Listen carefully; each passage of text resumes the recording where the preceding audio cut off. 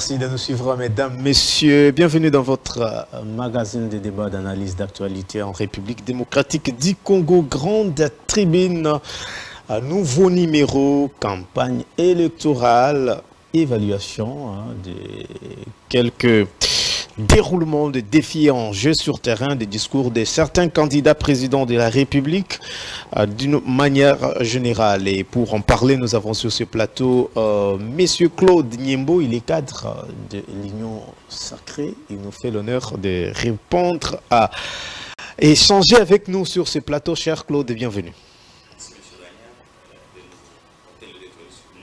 Monsieur il n'est pas seul, vous l'avez compris, il est accompagné par André Kafoubou. Il est porte-parole de Denis Mukwege. Il est sur ce plateau. Ah, bienvenue, cher André. Merci beaucoup, c'est André Kakoubou.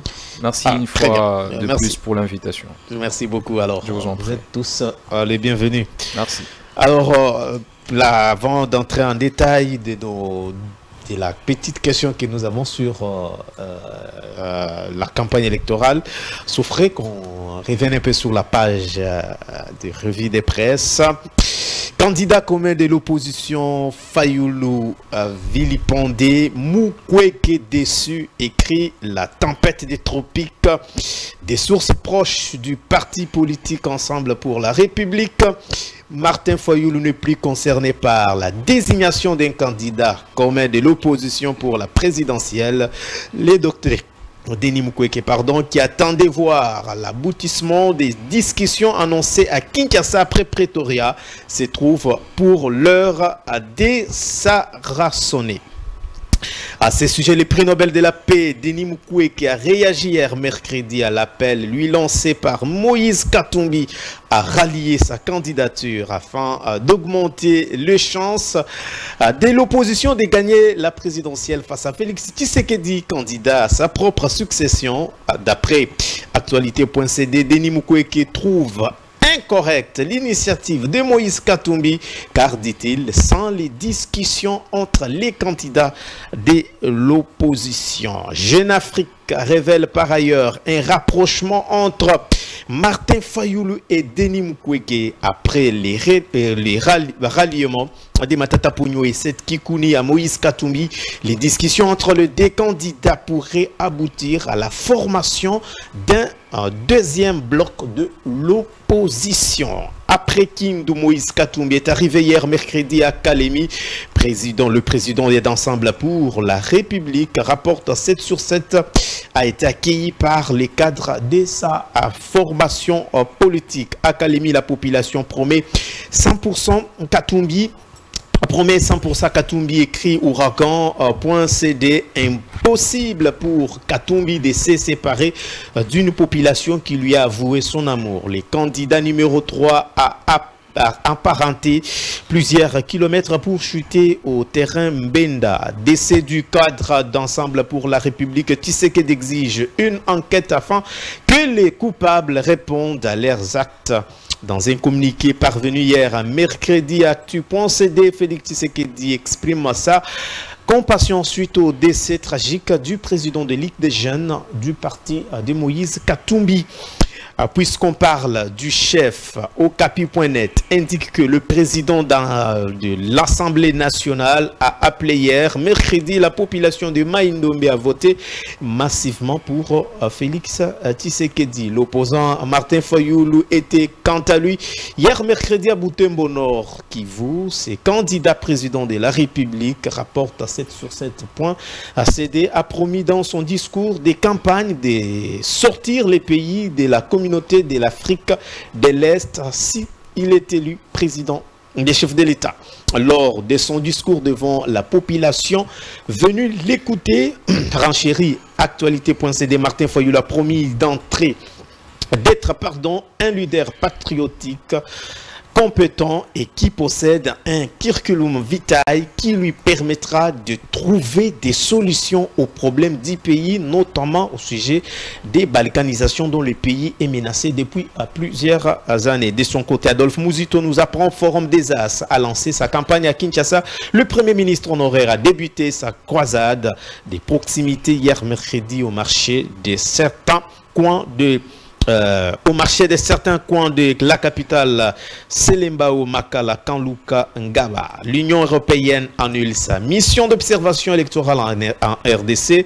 C'est ce qu'annonce hier, c'est ce hier mercredi son porte-parole à travers un communiqué consulté par la République. Les raisons cachées de l'annulation des observateurs électoraux européens sont à lire dans les journaux L'Avenir. En effet, révèle que le quotidien, il aurait été mis en place un système de piratage des résultats de l'élection présidentielle à partir de la centrale de, la centrale de la en vue de les trafiquer et de les modifier en faveur d'un protagoniste pro-européen dont les journaux Télénon. La réaction du gouvernement ne s'est pas fait attendre. Dans un communiqué parvenu à la rédaction de Bref.cd, le gouvernement dit prendre acte de la décision de l'Union européenne d'annuler sa mission d'observation en République démocratique du Congo. Mesdames et messieurs, c'est tout pour cette page euh, de la revue des presses. Place à présent au biscuit de nos invités une information que M. André pense qu'il peut partager avec nous. Vous avez la parole. Bon, il n'y a pas grand-chose. Je voudrais annoncer à tous nos compatriotes de Goma que ce samedi, nous tenons un grand meeting euh, avec euh, les candidats numéro 15 de Nimkwege à Goma. Et donc, euh, les détails de ce meeting seront communiqués d'ici peu. Mhm. Mais il faut aussi insister que nous, nous tenons le meeting parce que nous avons des idées claires, nous avons un projet précis mhm. et des plans concrets de réparation et des soins de notre pays. Donc nous vous invitons à participer massivement à ces meetings euh, pour écouter ce que proposent les candidats euh, numéro 15 afin de vous permettre de faire le choix judiciaire pour les élections de décembre. Et la question des probables rapprochements entre euh, Martin Fayoulou, quel est votre avis ou réaction? Écoutez, nous suivons de près toutes les tractations qu'il y a au niveau de l'opposition en cas d'un candidat commun. Mhm. Euh, mais je voudrais poser une question fondamentale. J'ai l'impression qu'on ne pose pas les bonnes questions quand on aborde certaines questions. On cherche un candidat commun. Mhm. Pourquoi? Et qu'est-ce qu'on attend d'un candidat commun d'opposition? Et que, à mon sens, aujourd'hui, des candidats de l'opposition, qu'est-ce que chacun propose en tant que candidat? Et pour quelle raison l'autre devrait désister au profit de l'autre parce que l'autre propose quoi. Et donc, les questions fondamentales ne sont pas assez épuisées. Quand aujourd'hui, certaines personnes mettent en avant Katumbi comme candidat commun d'opposition à tort, parce qu'il n'est que candidat commun de trois autres qui ont désisté, parce que l'opposition est plurielle, il ne faut pas centraliser. Kabila est dans l'opposition aujourd'hui avec le FCC, le PPRD. Je doute fort qu'on qu'on a euh, un cadre consensuel qui lui a désigné. Il y a ceux qui ont désisté, c'est un droit pour eux. Mais ce que je veux dire, c'est que qu'est-ce que, par exemple, Katumbi propose aujourd'hui pour mettre fin à la guerre? À part le fait qu'il propose qu'il n'y aura pas de première dame, nous sommes d'accord, euh, pas de problème. Qu'est-ce qu'il propose exactement pour lequel il va appeler les autres à désister pour lui? Il faudra qu'on aille sur le fond d'un projet qui soit meilleur que celui des autres inviter les autres à adhérer à ce projet-là. Par exemple, Denis Mukwege a aujourd'hui un plan de paix dans un pays à guerre. Les seuls à le proposer à l'élection présidentielle. Mais on va dire à quelqu'un qui a un plan de paix de suivre quelqu'un qui propose que seulement ça. Il n'y aura pas de première dame en RDC. Euh, Je vais donc dire que des, nous avons toujours été ouverts à des discussions, mais mm. comme notre président l'a dit hier, il faut que ce soit des discussions intègres, des discussions honnêtes, mais des discussions fondées sur quelque chose des bénéfices pour notre pays, notamment le projet qu'on porte pour le pays. Les idées de gouvernance que nous avons, qui priment hmm. et pour lesquelles nous allons demander à d'autres d'accorder assez de force au projet pour que nous puissions euh, le mettre en œuvre pour notre pays. Mais il ne faut pas chercher un candidat commun pour battre Tshisekedi. Tshisekedi partira tôt ou tard, hmm. ok? Mais il faudra que celui qui vienne, vienne avec une alternative, mais pas que Tshisekedi partent pour partir. Mm. Kabila est parti pour partir. Nous avons l'impression de continuer avec lui. Et donc, il faut que la population comprenne et que les acteurs politiques comprennent qu'il ne faut pas mm. s'allier pour chasser Tshisekedi. Il faut s'allier parce que nous avons quelqu'un qui a un plan de paix, qui a un plan de fin de fin et un plan de fin des vices qui peut euh, amener notre pays à l'essor, qui peut amener notre pays au changement.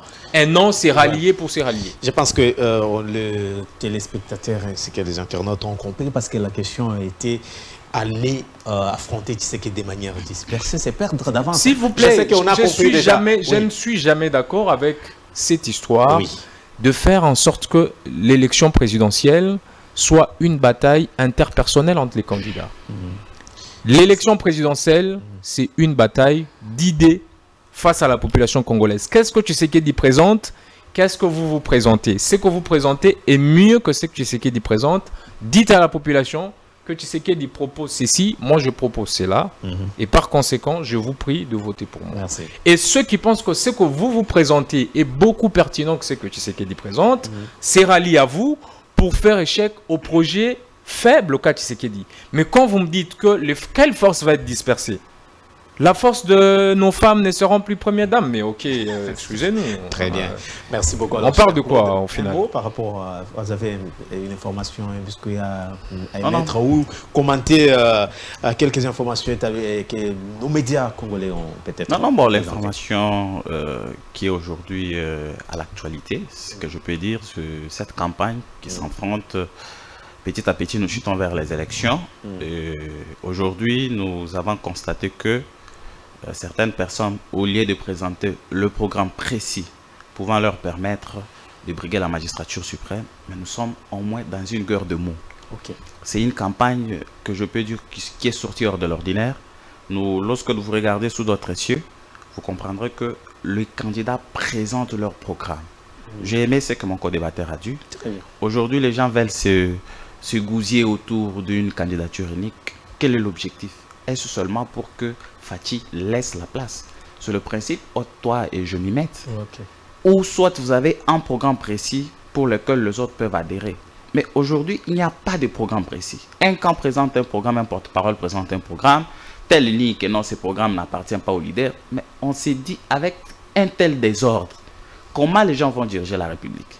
Non, il avait bien précisé, le, le programme n'appartient pas au président. Non, mais comment vous pouvez laisser un individu présenter un programme et puis vous désemparer, dire à quelque sorte que non, nous sommes isolés de ce programme, ça n'appartient pas au candidat. Mais le candidat lui-même, depuis qu'il a commencé, quel est le programme précis présenté? Nous avons Fatih. Lorsque Fatih vous présente, vous dit qu'il y a des candidats des étrangers, il vous présente son programme, il vous présente les efforts progressifs d'un bilan. Mm de ces trois, de ces cinq ans, vous-même vous connaissez, je ne vais pas entrer parce qu'on est encore euh, au début de l'émission. Mais je suis en train, lorsque je regarde comment l'opposition est en train de se gousier, je me dis, est-ce qu'il y a quelqu'un qui va remonter la pente? Est-ce que la remontade existe Parce qu'on voit les gens mm. se gousier, vouloir à tout prix que tu sais qu'il ne soit. Moi, je pense que c'est ça la guerre. Au moins que tu sais qu'il ne soit là, mais présentez-nous ce qui est mieux que Tshisekedi. On ne présente pas. On est dans les guerres de mots. Présentez-nous pourquoi vous voulez devenir président de la République. Pas de langage, pas de, de, langues qu'on maîtrise facilement. Mhm. On ne sait pas. Qui veut devenir président de la République qui ne maîtrise ni bien les Français, ni bien l'anglais, ni bien les Lingala, ni moins même les Swahili. Mhm. on ne sait pas finalement une telle personne parce qu'aujourd'hui, on vous dit que certains bégayent, tout ça on a besoin d'un programme précis et concis sur lequel les gens peuvent s'adhérer. Attention, les Congolais ne sont plus dupes. Ce n'est plus le fait. Le... Avant 2006, c'était encore notre première expérience où les gens pouvaient voter parce que vous leur avez donné un polo. Non, attention, nous avons déjà l'expérience des trois euh, législatures, trois élections. Mais attention, les Congolais ne sont plus dupes. Quand vous venez, on doit vous jauger. Vous n'avez pas, vous n'avez pas vu une vidéo sur les réseaux sociaux où les gens se sont retrouvés comme ça et à la fin, on regarde ce n'est plus l'affaire de toi, tu viens, tu fais gober aux gens ton discours comme si c'était une lettre à la poste. Non, ici, c'est tu viens, on te fait asseoir, on te pose des questions. C'est quoi ton programme? C'est pas la guerre des foules, vous non, avez vu Non, la guerre des foules, les gens sont en train de truquer les photos. On fait actuellement avec la, la, nouvelle technologie, il y a les Photoshop, on sait comment ça se passe. Mais les vraies images, lorsque vous regardez, mais vous allez vous en plaindre. À l'est du pays, nous avons vu les gens triffer changer des images, mais lorsqu'on a regardé les vraies images, vous avez vu ces combattants de Bukavu qui s'est attaqué à l'un des candidats, qui lui a dit des vraies vérités, comment euh, Bon, on évite de dire d'autres choses, mais on s'est dit, euh, jusque-là, nous sommes dessus. Mm. Nous sommes déçus parce que jusque-là, moi personnellement, je n'ai pas vu de programme euh, pouvant peut-être prendre place au programme du président actuel. Oh. Jusque-là. Bon, on va en parler. Il y a des candidats qui ont présenté. Oui, mais jusque-là, moi, je vous dis que je n'ai pas un programme précis qui vienne résoudre les problèmes du Congolais. Au moins, on est dans la guerre de mots. Hmm. Tel a dit, tel a dit, on a amené les mercenaires, on a fait ceci, on a fait cela. Mais vous-même, vous présentez quoi? Hmm. Parce qu'avant de vous attaquer, le bilan, c'est quoi? C'est vrai que le bilan, fait les économies, c'est ça, via les passifs, l'actif. Donc, il y a ce qui est bon, ce qui est mauvais. Mais après avoir analysé, vous, voulez faire quoi? Parce que quand vous critiquez un bilan sans innover, mm. vous n'êtes rien. Vous faites un travail scientifique. Moi, je suis assistant des universités. Mm. Tu fais une recherche scientifique et à la fin, tu ne dis aucune innovation. En quoi est-ce qu'on va l'appeler recherche scientifique? Et c'est la même chose que je suis en train de voir. Non, mm. qui seulement libère les pays en pauvreté. Nous allons terminer la guerre dans six mois. Vous faites, vous allez faire quoi pour que la guerre se termine dans six mois. Vous allez faire comment pour maximiser le, le budget que vous êtes en train de donner? Vous ne dites pas. Et vous pensez que Félix Tshisekedi a un bilan présenté? Bon, Félix a un bilan. Je pense peut-être qu'il y a un problème euh, actuellement des communications. Nous nous en plaignons. On ne sait pas est-ce que euh, ceux qui gèrent aujourd'hui la machine électorale du chef de l'État sont en train de dire les communicateurs. Aujourd'hui, la communication, et ça vraiment on doit le, dire, la mm. communication n'est pas seulement euh, venir parler en bon français ici. La communication, c'est dans toutes les langues. Faites juste une expérience. Moi, je viens du Congo central, je fais les tours. Vous allez comprendre que plusieurs de nos populations sont déconnectées des réseaux sociaux. C'est peut-être dans des grandes villes ici où on a tendance à penser que euh, tout le monde a l'accès facile sur les réseaux sociaux. Alors, c'est vraiment une interpellation au directeur euh, euh, chargé de, la presse présidentielle et à tous ceux qui sont aux côtés mm. de donner des moyens, de donner des moyens aux communicateurs afin que la communication soit précise. Les bilans est là. Mais qui doivent, comment les gens sont en train de communiquer ces bilans? Aujourd'hui, on peut se lever de bon matin, un monsieur n'ayant jamais un bilan pendant huit mois, mm. huit ans, devant une province dans l'ancienne configuration, mais critiquer un bilan précis. Lequel bilan, il a aussi participé. Comment vous pouvez critiquer une équipe alors que vous avez été membre de cette équipe? Ça signifie, oh non, moi je n'ai pas joué. Mais vous avez aligné vos joueurs. Mais on n'a pas, on n'a pas cette crème, on ne sent pas cette crème intellectuelle qui puisse aujourd'hui euh, nous donner confiance à ce qu'on adhère à, des programmes. On, a, on est dans la guerre de mots. On, revient. Alors, euh, cher André, je voudrais que vous puissiez, dix, euh, jours après la campagne électorale, votre lecture dans l'ensemble, que ce soit au niveau présidentiel et provincial. Ben, vous savez, aux temps obscurs, il faut des idées claires. Notre pays est en train de faire sa descente aux enfers n'en déplaise à ceux qui pensent mm. que nous évoluons. Nous sommes en train de regresser à grands pas.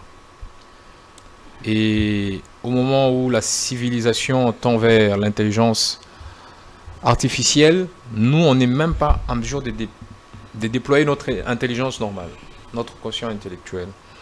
Et quand vous observez cette campagne, vous vous rendez compte que nous sommes loin des changements que nous voulons. En effet, je constate que la campagne électorale s'est transformée en un challenge de meeting. C'est la question Un challenge de meeting qui va sur l'achat de participation de, de, citoyens, qui va dans la manipulation des images et les vides des discours des leaders à l'élection présidentielle. Mhm. Alors qu'une campagne électorale est un moment intense d'éducation civique un moment de présentation d'idées, de projets et de plans pour la relance du pays. Mais malheureusement, nous assistons à des discours vides, à des discours injurieux, d'invectives, d'appel à la xénophobie, oh. des discours séparatistes. Et je suis très déçu du président de la République pour le message central de sa campagne. C'est pas faux. Je crois qu'il est de l'Union sacrée. C'est bien qu'il admette que la communication ne suit pas. Le président de la République ne peut pas avoir pour message central ne votez pas les candidats des étrangers. Il ne peut pas. Il est le symbole de l'unité nationale. Quel est le message que le président de la République transmet au monde quand il fait de toute sa tournée une campagne de voter contre les candidats des étrangers? Ça veut dire deux choses. C'est-à-dire quoi? Il faut nous je, je vais essayer d'expliquer parce que les gens les disent sans comprendre. C'est que, c'est que ça peut vraiment insinuer cette phrase. Hmm. Voter contre les candidats des étrangers, ça veut dire que le président de la République veut déjà couper la République démocratique du Congo du monde.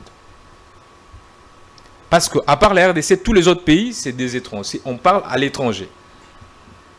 Voter contre les candidats de l'étranger veut dire que le président de la République est tout à fait d'accord que nous sommes infiltrés de l'intérieur. Et que certains des candidats sont des infiltrés. Mhm. Et que, selon lui, il faut diaboliser ces candidats-là pour que lui, candidat de l'intérieur, soit voté. Mais regardez ce qui se passe. Et c'est que moi, je trouve comme cause d'un tel discours. Mhm le président de la République a des démêlés avec Paul Kagame. Qu'il cite parce que ce qu'il dit quand il continue avec la phrase, c'est que demandez-leur de citer Paul Kagame. S'il ne cite pas Paul Kagame, vous allez découvrir que c'est des candidats de l'étranger. Sans citer les noms, j'aurais bien voulu qu'il aille jusqu'au bout, qu'il dise Ok, tel est candidat de l'étranger, ne le votez pas. Que de laisser une population qui n'a ni capacité de déceler ce que lui voit, les laisser dans, dans ces traumatismes de il y a des candidats de l'étranger. Ils sont à 26. Combien sont de l'étranger? Pourquoi il ne les cite pas? Il est en campagne il, il, a bien précisé, vous les reconnaîtrez par les discours. Non, qu'il parle clairement. Mais moi, ce que je veux dire, c'est que le président de la République a échoué sa diplomatie. La frustration de l'échec de sa diplomatie avec le Rwanda, mm. La Brazzaville ici, et les autres pays voisins, assez y compris à l'international. Cette frustration-là fait en sorte qu'il aille pour message central, ne votez pas le candidat des étrangers. Parce que Paul Kagame, mm. nous nous les citons. Et vous savez, notre candidat, il est farouche quand il faut parler de l'Est et de Paul Kagame. Paul Kagame était un frère ami au président Tshisekedi. Je suis déçu qu'il l'ait appris récemment que Paul Kagame était notre ennemi. Je suis très déçu qu'au début du mandat, il ne savait pas ça. Et que c'est après 2-3 ans qu'il s'est rendu compte que son ennemi j'irai, c'est Kagame. Merci beaucoup pour lui. Mais ça démontre l'homme. Ça démontre comment, dans quel état il était quand il prenait le pouvoir. Parce que quelqu'un qui connaît la politique congolaise sait que Paul Kagame est notre ennemi depuis belle lurette. Ce n'est pas à deux ans qu'il va nous dire ça et faire de sa frustration interpersonnelle avec Paul Kagame, due à l'échec de sa diplomatie, en faire un message central de sa campagne. Je conseille à ceux qui oriente sa campagne de faire ceci. Il a cinq ans. Il est président de la République. Il faut déjà qu'on leur dise qu'en étant candidat de la République, il est revêtu de toutes les attributions constitutionnelles d'un chef d'État. Il peut pas s'en départir. Et il doit donc gérer mm. ce qui sort de sa bouche pour qu'il ne sépare pas, pour qu'il ne puisse pas être en train de lancer un message de division. S'il y a un candidat qui devait avoir un message de l'unité, c'est mm. Tshisekedi. Et la question que Mais ce que je propose... pourquoi ça vous dérange quand on est Non, le problème, ça ne dérange pas. On ne peut pas laisser quelque chose d'anormal continuer. Ce n'est pas un dérangement. C'est une critique. Les présidents de la République, avec 5 ans, avec les bilans qu'ils vendent partout, pourquoi ils ne parlent pas de son bilan mhm. J'aurais bien voulu que le message central soit, regardez ce que je fais, je veux que vous m'accordiez un deuxième mandat pour que je fasse plus. C'est ce qu'il fait hier. Il, a, dit, qu'il a fait quoi On a présenté tout ce qu'il a dit. Bon, on, a son représentant. Si on va écouter ce qu'il a fait, on va comparer. C'est là que vous allez comprendre qu'il fouille son bilan parce qu'il a beaucoup de passifs. Le président ne peut pas défendre son bilan parce qu'il est insignifiant. Parce qu'il a tenu de promesses assez claires qui ne sont pas réalisées. Parce que souvent, quand on parle du bilan, on pense que tout est noir. Non, on est d'accord qu'en tant que chef d'État, dans 5 ans, il y a des efforts euh, naturels qui sont faits de gauche à droite. Mais il est de promesses claires. Il a dit s'il n'y a pas la paix, il a échoué son mandat. C'est lui qui l'a dit. Quand on dit aujourd'hui qu'il a échoué son mandat, lui-même refuse, il dit qu'il a réussi. Ça n'a pas de sens. Mais parce qu'il ne peut pas défendre ça, il s'y rallie à un message séparatiste.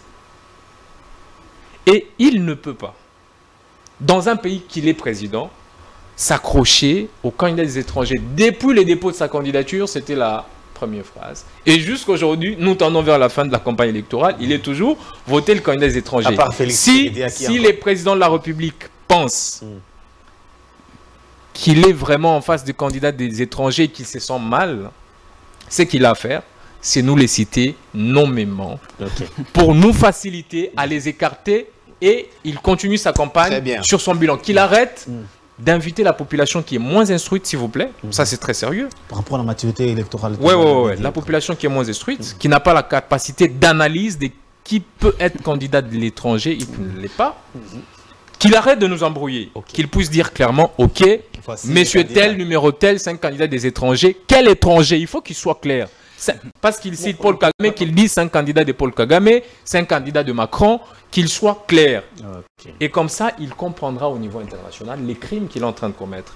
Parce que notre pays, c'est un pays qui a une diplomatie agissante, comme ils l'ont dit. Mhm. Et un grand diplomate ne tient pas ces gens de langage. Mhm. Et c'est pour ça qu'il ne peut pas citer, qu'il peut pas citer les candidats des étrangers.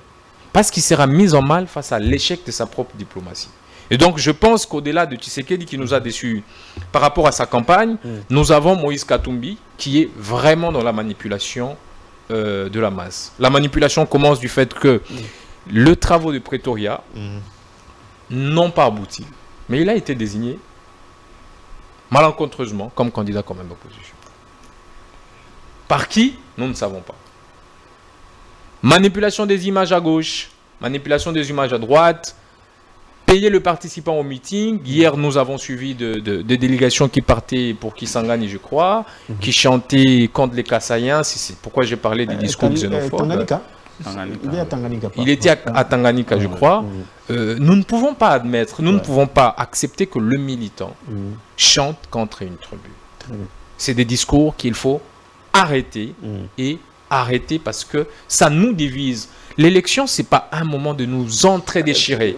Je l'ai dit, je, vais chuter. Mm. L'élection, c'est un moment, en tant que peuple, de nous mettre d'accord sur un programme que nous pensons pour les prochaines années peut transformer de fond en comble notre pays.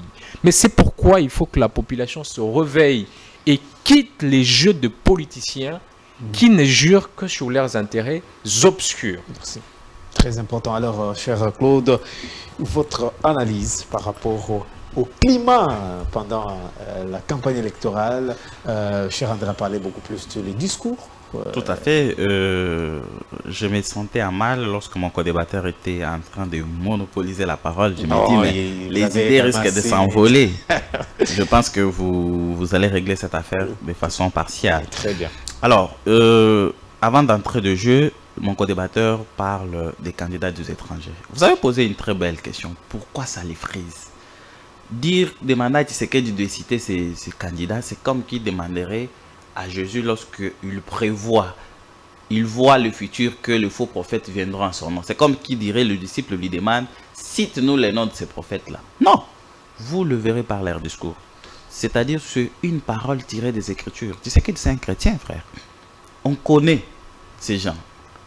Donc vous les connaîtrez par leurs fruits. Vous êtes aussi évangéliste, euh, euh, votre casquette. Et donc, il n'y a rien du nouveau. On n'a pas le temps de citer ces personnes, mais la population dure que c'est une population qui n'a pas de maturité. Non. Aujourd'hui, dans la tête, la loi euh, euh n'a pas été votée, mais nous, nous l'avons. Quand je vais entrer dans l'urne, je connais qui est congolais, des pères et des mères, et qui ne l'est pas. Donc, l'effet, c'est quoi? La loi n'a pas seulement un caractère euh, euh, juridique, mais ça a aussi un caractère psychologique et social. Les étrangers, les candidats des étrangers, nous les connaissons par leur propre discours. Qu'est-ce que ces candidats ont dit, Il a dit à première au lieu de présenter les bilans, vous restez dans des discours. Non, les bilans étaient présentés. Vous avez dit la remontade. On a présenté le bilan devant les congrès, les parlements réunis en congrès. Vous pensez que c'était un exercice euh, habituel Pourquoi les gens ont pris du temps? On a pris du temps parce qu'il y avait beaucoup de choses à présenter. Bien que, même, on est humain, nous allons vers la perfection. Le chef de l'État a démontré, au-delà du bilan, il a aussi démontré les conditions dans lesquelles il est accédé au pouvoir. Ce sont des faits en droit. Je pense que les confrères, le, le co-débatteur doit être juriste. Il y a des faits qui peuvent exonérer une personne d'une responsabilité. Lorsqu'il y a cas de force majeure, mm. cas fortuite. Aujourd'hui, le chef de l'État vous présente un bilan. Je vais revenir lorsque vous allez nous demander de présenter hermétiquement le bilan tel que le chef de l'État l'a présenté et vous démontrer aussi les causes exonératoires. Il y a eu FCC Cash, il y a eu Covid, il y a eu tout ce que vous connaissez. Ces choses ont fait qu'on a passé deux ans. Aujourd'hui, si on parle du bilan de cinq ans, oui, bon, c'est juste que parce que constitutionnellement parlant, le chef de l'État était là. Mais mhm. aujourd'hui, les gens demandent plus au chef de l'État qu'au Premier ministre parce que lui, en soi, ne gère pas le gouvernement. Mhm. Il y a eu deux ans passés où le FCC a géré à lui seul, le, non seulement le gouvernement, mais aussi avec le ministère régalien. Avec Félix Avec Félix, tout à fait. mais maintenant, je reviens d'abord pour terminer l'affaire. Mon frère, mon co-débatteur parle du bilan. Il dit que non, il aurait dû présenter les bilans hmm. en lieu place de parler des candidats des étrangers. Nous les connaissons, les candidats des étrangers. Si qu'elle dit que nous n'avons pas un problème de genre, en quoi ça pose problème? Nous sommes des Bantous. Nous ne sommes pas des Européens pour que la, la question du genre puisse être résolue. Non, nous avons nos coutumes à nous propres. Le code de la famille existe, la constitution existe, les mariages entre Congolais, on sait ce que ça fait. Un homme et une femme de sexe opposé.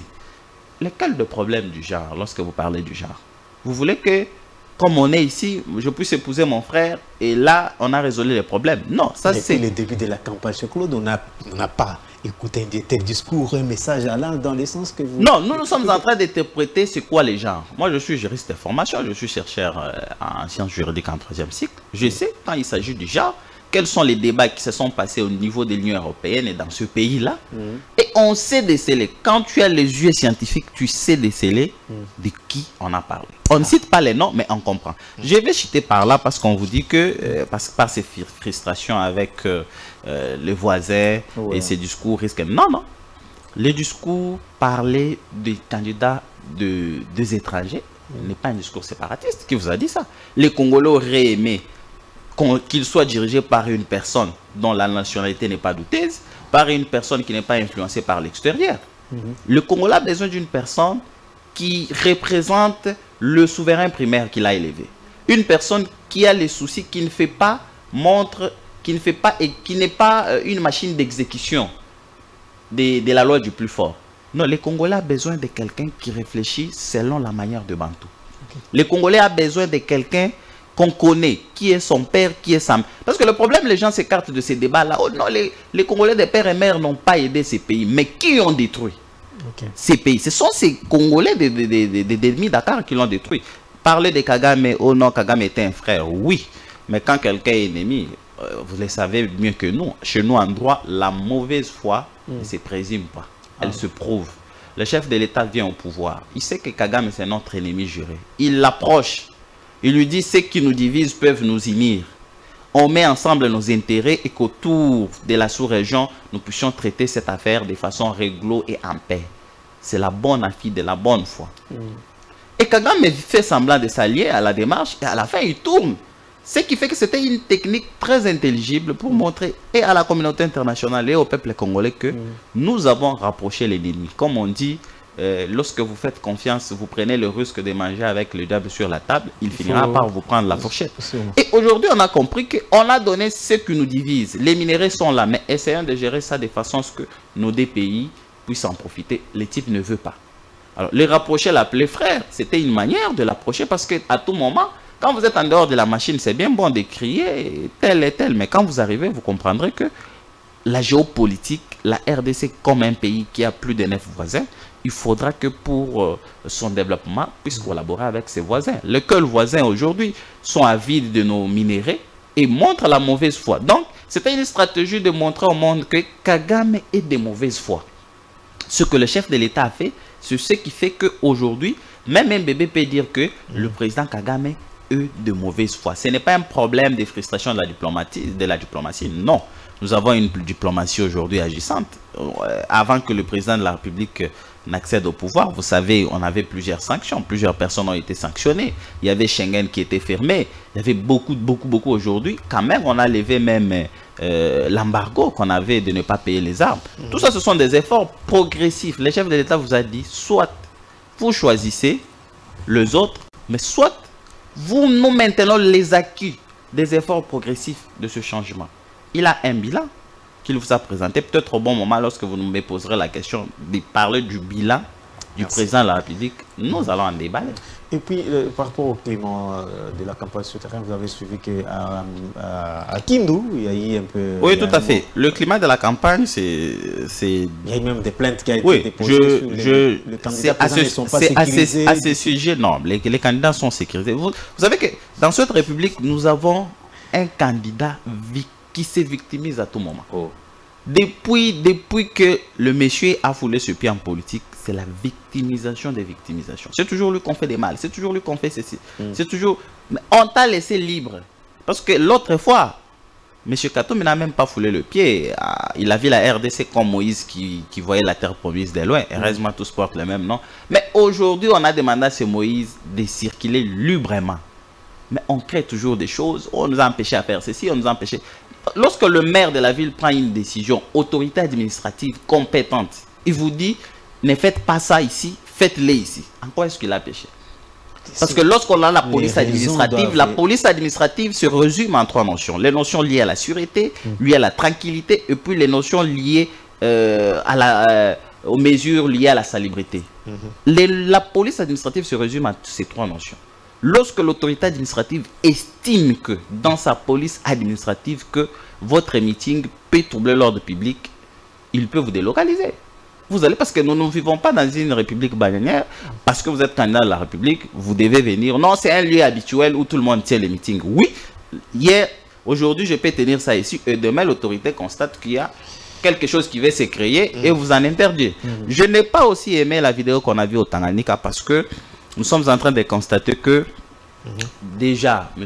Monsieur, Katoumi, dans sa sortie ratée de l'autre fois, il parlait des talibans. C'est un discours, c'est un langage qu'une personne qui, a su- qui, qui adhère à devenir chef de l'État ne peut pas prendre. Qui est taliban?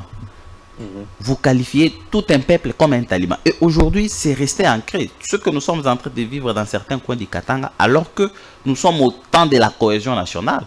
Ce n'est pas le discours, ce n'est pas le, le, le- le fait que le chef de l'État est du qui a euh, le candidat des étrangers. Pas du tout. Ça, ça n'a rien à voir. Ça, c'est l'éveil national, patriotique. Mais les discours où quelqu'un, un leader, qualifie un groupe ou une tribu comme taliban est en train de continuer à persévérer dans ce mal Très bien. Attention, ça va diviser la République. Mobutu a lutté pour que la République soit divisée, mais aujourd'hui, on est en train de vouloir nous montrer que les élections sont cotériques. C'est-à-dire, quand je suis de tel côté, je dois me comporter ceci. Nous l'attendons aussi à Kim, qu'il vienne nous présenter son plan à Lingala, parce que tous les Kinois ne parlent pas français. Merci beaucoup alors, cher Claude. Je reviens par rapport euh, euh, au départ, hein, ou à l'annulation de euh, la mission d'observation de l'Union européenne. Ah, tout à fait. Est-ce qu'il y aura réellement des élections? Qu'est-ce qui s'est passé? Il y a des doutes par-ci par-là. Je pense que euh, vous êtes mieux placé pour euh, nous, donner un peu votre point de vue. Alors, cher Claude, est-ce qu'avant de vous allez, vous avez quelque chose à réagir par rapport à ce que Bon, deux minutes. Très bien, je pense, ça, je voudrais dire à hum, à mon co-débatteur que les causes d'exonération existent en droit pénal, pas en droit constitutionnel. Ça n'existe nulle part des causes d'ex- d'exonération d'un chef d'État. La décision de coaliser, cohabiter avec l'FCC devrait être prise en âme et conscience. La décision de rapprocher Kagame devrait être prise en âme et conscience. Lorsque vous prenez deux décisions qui, in fine, échouent, il ne faut pas venir vous en plaindre. Ok, j'étais de bonne foi avec Kabila, mais vous avez vu, ils m'ont mis de bateau dans la roue. C'est ça la politique. Il ne pensait pas qu'il allait coaliser comme si c'était à l'église parce que vous nous sortez des versets. On allait dire, ok, bon vent, allez-y, tout va bien se passer. Si c'est ce mental-là qu'il avait en prenant euh, la magistrature suprême, ok, il en, a, il en prend à, à ses dépourvus. Si l'FCC cache, ça n'a pas marché, et que vous pensez que c'est l'une des causes du ralentissement du bilan qui devait être le sien, c'est sa responsabilité, il doit l'assumer. Demander au peuple de l'exonérer, je pensais qu'on allait dans un débat beaucoup plus civilisé. Allez-y, Si vous en voulez des Ah, coups, non, non, non, tant mieux. Non, non, non, allez-y. Alors, je disais donc que qui est Covid, qui est l'FCC parce qu'il en cite comme des excuse. contraintes, ça ne sont pas des excuses. Contre vent et tempête, il faut prendre des décisions, dire il y a eu Covid, j'ai décidé ça. Et ça entre dans mon bilan. Et non dire il y a eu Covid, j'ai pas pris une décision, ça m'a ralenti, excusez-moi, donnez-moi un deuxième mandat. Je pense que ce n'est pas les discours corrects et les Congolais ne peuvent pas mm. exonérer quelqu'un qui a échoué. Qu'est-ce qui a, qu'est-ce qui a été à la base du fait qu'on n'aille pas la paix à l'Est dans cinq ans? Que ça soit dit clairement, ok, c'est l'FCC qui m'a bloqué. C'est Kagame qui m'a trompé. Mais quand vous dites qu'on a rapproché notre ennemi, il nous a pris la fourchette, c'est que vous avez échoué dans votre diplomatie alors. Parce que vous, vous étiez assez diplomate, vous étiez de bonne foi, vous avez rapproché l'ennemi. En vrai, la stratégie était de le rapprocher pour gagner. Pour le gagner, pour le faire comprendre ce que vous voulez. C'est en sent que la diplomatie est agissante. Mais si vous rapprochez l'ennemi, et qu'à la fin, vous vous rendez compte qu'ok, mm. il nous a eu. Parce qu'aujourd'hui, c'est lui qui vous mène. Et Malencontreusement, le président de la République dit récemment sur euh, France 24 que non, il attend qu'on attaque Goma pour qu'il réagisse. Ok, vous avez découvert que Kagame, c'est notre ennemi. Vous avez découvert qu'il nous a pris au dépourvu, il veut jouer les jeux des Occidentaux. D'accord. Maintenant, qu'est-ce que vous faites? Il a dit lors du lancement de la, campagne que c'est son ennemi géré. Et vraiment, c'est tout, vraiment, c'est... Ok, d'accord. Chassez, rompez d'abord le rapport diplomatique avec le Rwanda. Arrêtez les rapports commerciaux. Prenez des actes courageux qui disent vraiment que, ok, ça s'arrête là. Mais aujourd'hui, vous criez à tue-tête, c'est notre ennemi juré, tout ça. La diplomatie, vous continuez à coopérer diplomatiquement. En vous-même. Les rapports commerciaux sont maintenus parce que le Rwanda est en position de force que vous. Mais vous dites quoi? Votre ennemi, vous continuez à l'entretenir. C'est là qu'on parle l'échec de, de cette diplomatie-là.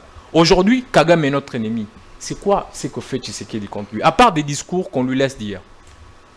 À part le fait qu'il puisse traiter Kagame de tout ce qu'il veut. À part ces discours-là, mhm. qui n'apportent absolument rien. Il faut voir quand euh, le Rwanda par l'M23 nous attaque, c'est que fait le gouvernement congolais à part le communiquer. À part les communiquer et parler, qu'est-ce qu'on sait faire d'autre pour contrer Kagame? Rien du tout. Rien et rien du tout. Mhm. Quand mon co-débatteur dit que la RDC n'a pas un problème des genres, mais je suis sidéré. Dans ce pays, on a encore des hommes qui battent leurs femmes, dans certaines tribus. De, deux hommes qui, qui chosifient encore les femmes. Nous avons encore des femmes qui sont, comme on appelle, euh, des bons à rien dans certaines tribus. Mhm. Nous ne pouvons pas dire qu'il n'y a pas un problème des genres dans ce pays, alors que le président de la République est celui qui a lancé à tue-tête la génération euh, l'égalité de génération.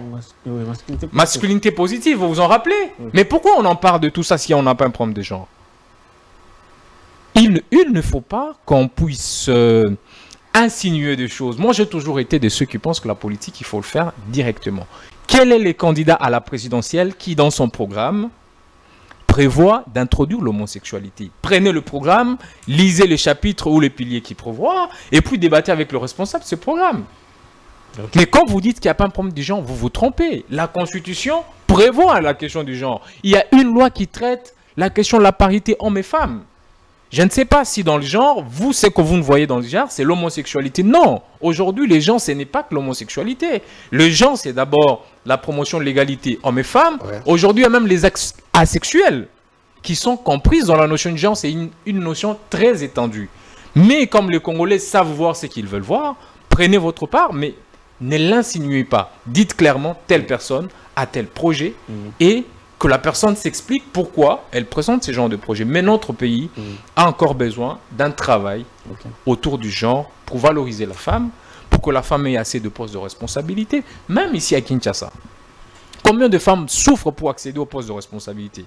Parce qu'elles sont considérées comme inférieures à l'homme, mm. parce qu'elles sont chosifiées, parce qu'elles doivent être prises comme objet de plaisir pour accéder à certains postes. Et nous ne pouvons pas dire, dans un pays comme le nôtre, qu'on n'a pas un projet de genre, alors qu'on est connaît partie prenante pour mm. beaucoup d'instruments au niveau international ou régional qui portent euh, euh, promotion du genre et tout ce qui va avec. Donc je pense que euh, c'est des choses comme ça qu'il faut, dans les langages, ne pas tenir parce que nous devons encore faire des efforts pour, euh, mhm. pour en arriver là. Donc je pense que c'est ce que je peux dire par rapport à ce que le confrère venait de dire. Ok, alors les candidats présidents sont euh, sur terrain, les candidats députés nationaux, provinciaux, ainsi de suite. Mais il y a une doute qui plane encore jusque-là sur l'organisation des élections. Vous avez suivi le, le prélat catholique qui ont essayé un peu d'essaimer.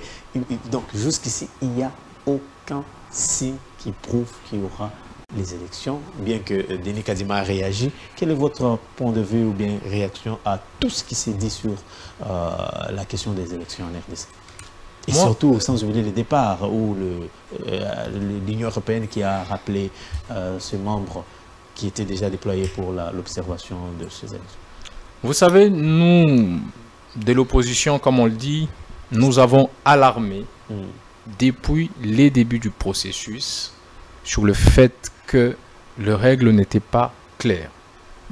Nous avons relevé les difficultés techniques, logistiques et financières auxquelles la CENI est confrontée. Nous avons relevé les difficultés autour de la transparence des fichiers électoraux, l'affichage des listes des électeurs, l'exclusion de certains territoires de l'électorat. Nous avons dénoncé toutes ces choses. Il y a des communiqués que nous avons signés avec d'autres candidats. Plus récemment, Martin Fayoulou, lors de la rencontre de, président de la République, a évoqué, Delis Sanga a évoqué, Denis Mukwege a évoqué beaucoup de choses qui aujourd'hui commencent à se dessiner clairement. Le processus a soit les buts de faire élire quelqu'un, soit on n'a pas la volonté d'organiser les élections dans les temps constitutionnels. Et tout ce qui se fait aujourd'hui commence à rejoindre petit à petit ce que nous avions prédit et qui, si ça a été pris en compte, nous aurions corrigé et évité assez des dégâts qui sont aujourd'hui. Nous attendons voir. Et c'est là que le va blesse qui annonce le report. Mhm. Comment et comment ça se gère après? Parce que nous sommes en campagne électorale. Est-ce que c'est ce qui démontre un peu début euh, timide parce qu'il y a tout le monde est a tendance non, c'est pas faux. Tout observateur intelligent mm. sait voir qu'il sera pratiquement difficile que Kadima organise les élections le 20 décembre. Je veux vous dire, pour des raisons juste minimes, mm. aujourd'hui, les candidats n'ont pas de policiers prévus par la Constitution, je veux dire par la loi électorale, pour la sécurité. Mon candidat mm. n'a pas eu ses policiers. Non, il y a quand même des procédures. Est-ce qu'on viendra te donner des procédures Mais nous sommes à la deuxième semaine de la campagne électorale. C'est quoi la procédure qu'on n'a pas respectée? J'attendrai que les juristes puissent nous dire, OK, il faut telle procédure pour qu'on vous alloue les, la sécurité. C'est des questions aussi banales, parce que quand on vous parle de ces policiers-là, c'est un coup. Oui, oui. Vous comprenez ce que ça veut dire? C'est vous rassurer que la police nationale a reçu le moyen pour détacher ces policiers-là et en assurer tout ce qu'il faut. Peter Kaza, il a dit il y avait des candidats qui n'avaient pas la possibilité de prendre en charge, je ne sais pas moi, des policiers. Mais c'est Peter Kazadi qui vient de dire qu'il ne connaissait pas la situation sécuritaire complète. C'est pas lui qui a dit ça sur Top Congo. Merci. Mais vous parlez de quoi? C'est de personnes irresponsables à qui on a laissé la gestion d'une question aussi importante que la sécurité de deux candidats à l'élection présidentielle. Vous avez vu, on a eu de morts à Kindu. Par exemple, à Kindu, vous allez voir que la plupart des candidats marchent avec une sécurité privée. Des maîtres, des volontaires. Mhm. Mais au-delà de ça, vous trouvez que la CENI aujourd'hui n'a pas encore déployé le, kit euh, électoral. Les agents ne sont pas encore formés. On attend quoi? Parce que c'est dans 20 jours, à peu près, 19 jours, quelque chose. Mhm, C'est-à-dire que la difficulté mhm. est persistante, espérant que Tshisekedi et son gouvernement vont mettre le plus rapidement les moyens, parce que c'est ce qui bloque, et que les choses vont être prises au sérieux. Mais avec le retrait des observateurs de l'Union européenne, ça commence à craindre. Ben, merci beaucoup alors, cher. Euh, alors, vous avez également très, rapidement, il, en a pris aussi les temps. Eh, allez-y, allez-y. Alors, euh, le problème, c'est que je m'aimerais bien attirer l'attention de notre co-débatteur, mm. que j'ai aimé bien, mm. que la guerre ne se déclare pas dans une baguette magique. On peut bomber les torses aujourd'hui qu'on est fort mm. pour attaquer le petit Rwanda sans savoir qui est. Parce qu'avant d'attaquer le Rwanda, il faut voir qui est derrière le Rwanda. C'est pourquoi le chef de l'État a activé d'abord la voie diplomatique, mm. connaissant qu'ils sont derrière le Rwanda. Les armes, là, ça ne se fabrique pas au Rwanda. Le, ce que, le, le, les, les, armes sophistiquées qu'on a décelées dans, le, dans, dans, les camps de, de, M23 ne se fabriquent pas au Rwanda, ça mm. vient de quelque part. Nous avons vu aujourd'hui la reçue bomber la torse pour euh, effacer, la, petite Ukraine le, petit pays, les mm. tout plus petits pays, mais ça a pris des années jusqu'à aujourd'hui. La guerre continue. Donc, c'est pour dire à mon frère que la guerre se prépare. Mm. C'est pourquoi le chef de l'État, les gens nous poussent plus. Allez, non, les Rwandais vous attaquent. Vous connaissez l'ennemi, il faut agir. Est-ce que vous connaissez qui est derrière le Rwanda? Mais vous qui connaissez, qu'est-ce que vous faites? Vous qui connaissez, vous faites Voilà, c'est la bonne réponse qui tombe. C'est pourquoi nous sommes au niveau, dans les tractations au niveau international. Mhm. Il y a l'accord de paix qui est signé. Tout ça, c'est pour montrer parce que la guerre ne concerne, lorsqu'il y a une guerre sur, dans une région, mhm.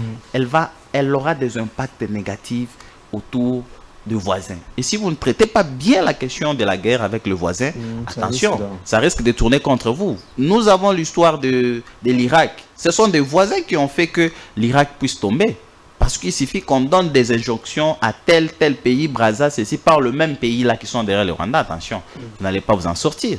Alors, c'est pourquoi la voie qui a été prise, c'est la voie diplomatique, où les accords de paix ont été signés.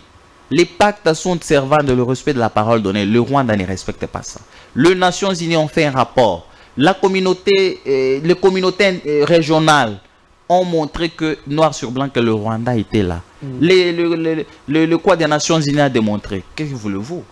Alors, c'est à la fin. C'est pourquoi le chef de l'État vous a dit que nous avons une dernière solution.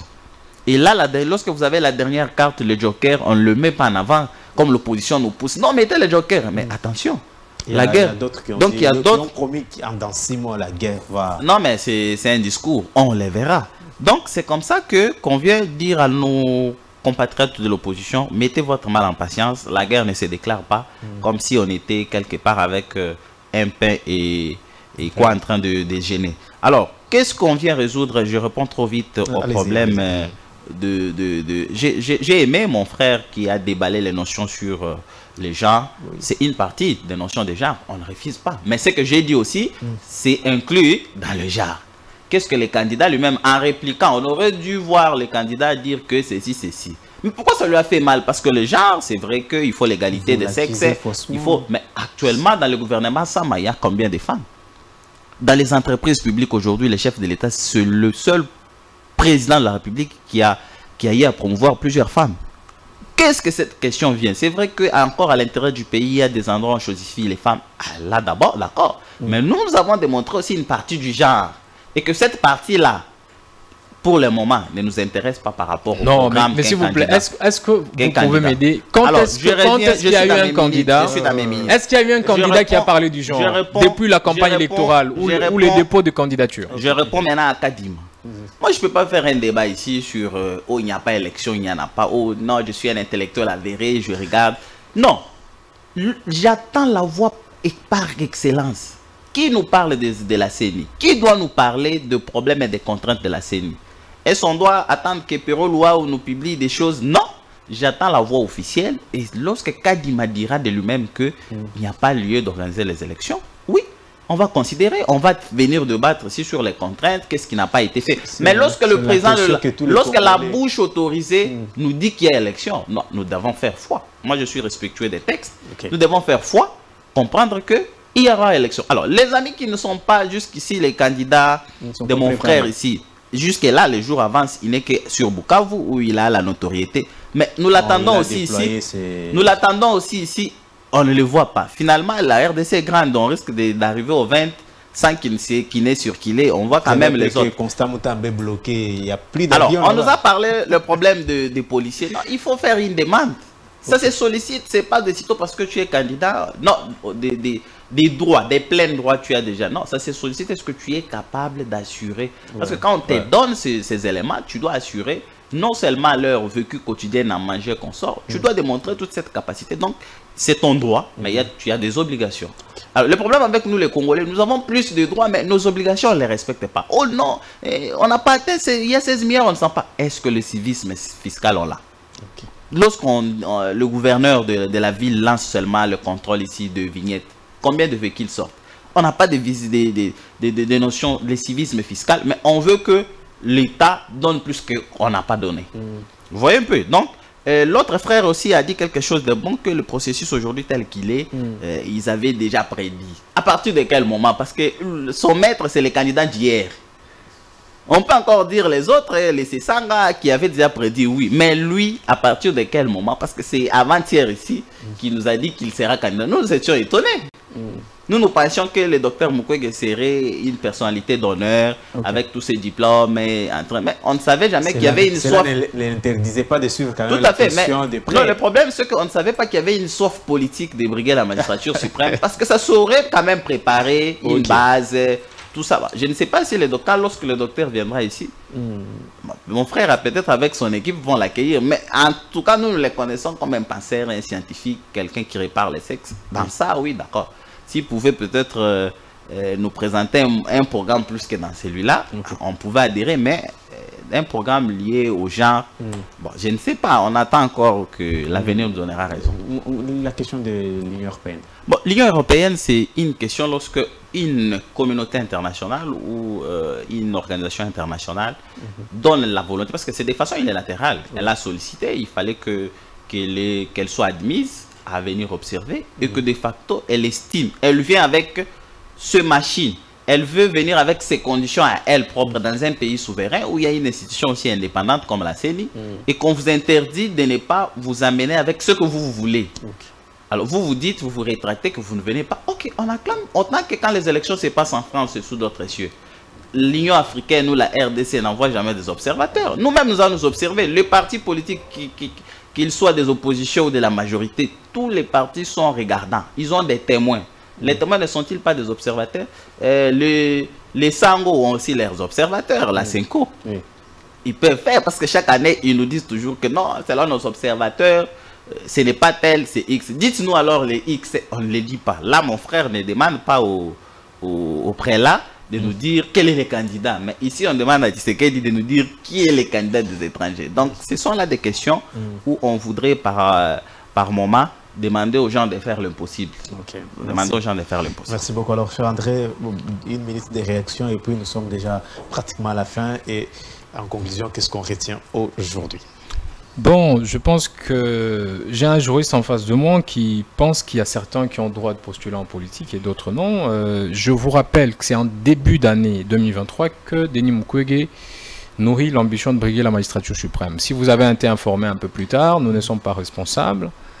Euh, depuis l'annonce de sa candidature, si vous suivez les émissions tenues et même ses discours dans des grands tribunaux à travers le monde, il décide et dénonce ce qui se passe dans notre pays depuis bien très longtemps. Donc si vous n'en êtes non plus pas informé, euh, n'en déplaise. Si vous dites que je serai moi et des autres à l'accueillir, vous êtes encore moins informé parce qu'il a un regroupement politique qui a aligné les députés à tous les niveaux, à travers la République, donc ayant été l'essai prévu par la, CNU. Mhm. Si vous n'êtes pas informé, nous n'en sommes pas responsables. Euh, je veux aussi dire que euh, la notion du genre que vous évoquez n'a jamais été, dans les cas et dans les contextes que vous expliquez, élucidé par notre candidat depuis les débuts de, du lancement de sa candidature. Donc c'est à tort et c'est une arme malencontreuse que vous utilisez parce que vous n'avez pas autre chose à lui reprocher. Donc euh, je pense et j'invite, euh, quant à moi, pour finir, la mm. population à voter pour Denis Mukwege parce qu'il porte le plan et le projet que aucun candidat jusqu'à ce jour n'a présenté. Mm-hmm. Merci beaucoup. À vous également. Voilà, le dernier mot. Euh, une minute de réaction. Je demande à la population de préserver les acquis, les efforts progressifs. Le RAM, on va préserver le RAM. En, votant le numéro 20. 100 jours, Chile euh, c'est ça qu'on doit préserver euh, je suis en train d'encourager tous les combattants. Samaloukonde qui est en train de renfler le Grand Katanga. Euh, il y a Jean-Pierre Mbemba qui renfle le Grand Équateur. Il y a, VK.